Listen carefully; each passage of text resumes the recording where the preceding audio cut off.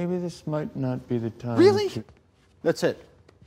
You just roll over, show your belly every time somebody snarls. Only when I've created a murder bot. We didn't. We weren't even close. Were we close to an interface? Well, you did something right. And you did it right here.